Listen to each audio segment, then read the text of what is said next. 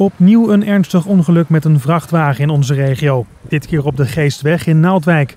Ter hoogte van de bocht met de opstalweg kwam dinsdag rond half elf een fietster onder een vrachtwagen terecht.